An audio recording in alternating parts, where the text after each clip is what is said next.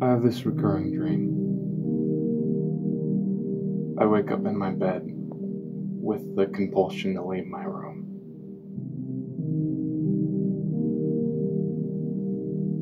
Sometimes I make it to the door, sometimes I only get halfway.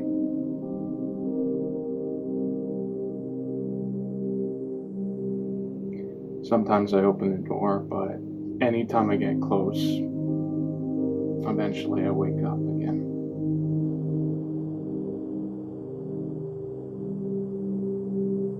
I try, and I try, and I try, but I'm never able to leave the room.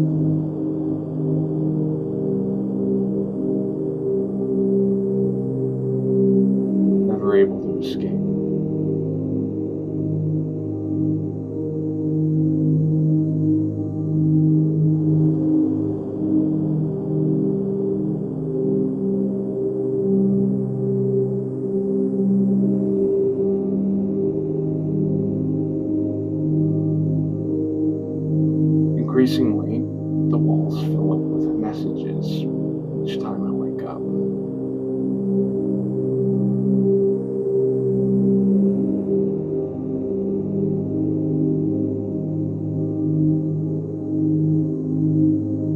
They're filled with awful things. Things I'm insecure about. Things I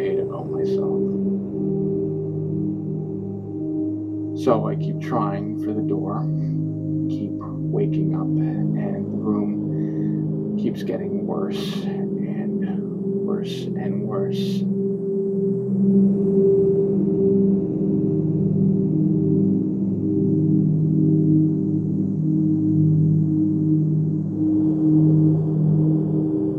And then I give up.